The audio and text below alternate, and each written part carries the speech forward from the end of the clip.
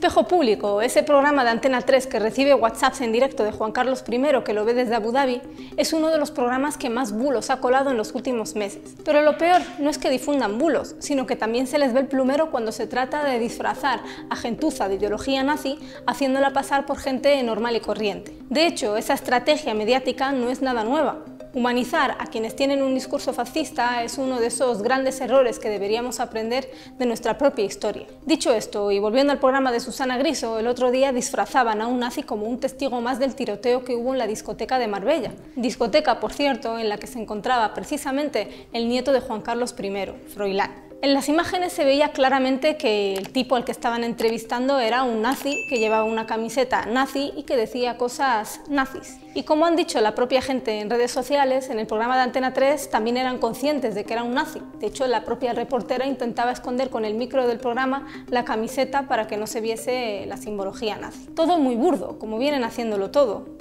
de forma muy burda. Cuando vieron que la indignación entre la audiencia crecía y después de darle en redes a la imagen escondiendo el logo nazi, decidieron emitir un escueto comunicado que lejos de condenar aquella imagen bochornosa de aquella entrevista, simplemente se limitaba a decir, y cito textual, Espejo Público se desvincula de aquellas declaraciones realizadas en directo por un testigo del tiroteo en Marbella. Lamentamos y condenamos cualquier expresión de racismo o discriminación. Siguen llamando al nazi testigo del tiroteo en Marbella y sus ideas nazis para Antena 3 son una expresión de racismo y discriminación. Lo peor no es que no se hayan arrepentido de haberle entrevistado y que ni siquiera hayan pedido una disculpa. Lo peor es que volverán a intentar colar a un nazi en la tele, como hicieron en otras ocasiones. ¿Os acordáis de Isabel Peralta, no? La entrevistaron en La Sexta, tu cadena supuestamente progresista, cuyo consejero es Mauricio Casals. Sí, el de A3 Media, que también tiene en Antena 3. El historial desinformador de Antena 3 no debería sorprender a nadie, como decía al principio.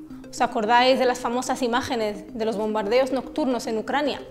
Resulta que fueron imágenes sacadas de un videojuego. Otro más reciente, ¿os acordáis del bulo que difundió Antena 3 y su grupo mediático en relación a unas declaraciones de Irene Montero sobre la masacre en Melilla? En el telediario de Antena 3 omitieron y manipularon el vídeo completo. Al día siguiente, Susana Griso, el programa de Ana Rosa y el de Alsina de Onda Cero continuaron con la manipulación. Nunca, nunca llegaron a pedir disculpas ni a retirar de sus cuentas y plataformas web el vídeo recortado y manipulado.